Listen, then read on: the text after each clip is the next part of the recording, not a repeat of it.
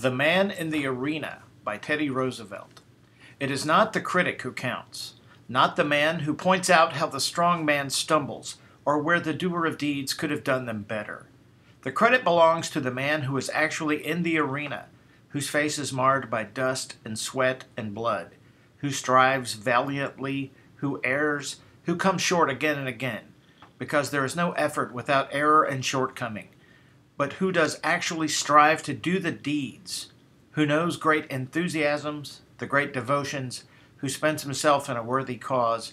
who at the best knows in the end the triumph of high achievement, and who, at the worst, if he fails, at least fails while daring greatly, so that his place shall never be with those cold and timid souls who, know, who neither know victory nor defeat.